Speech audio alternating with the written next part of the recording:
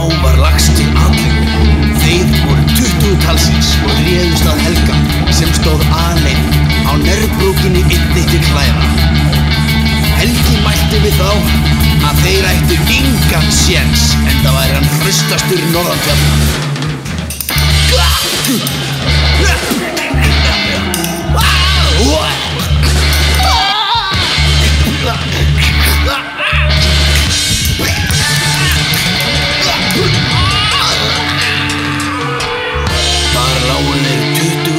Talsins í moldinni en aðeins einn maður stóð uppi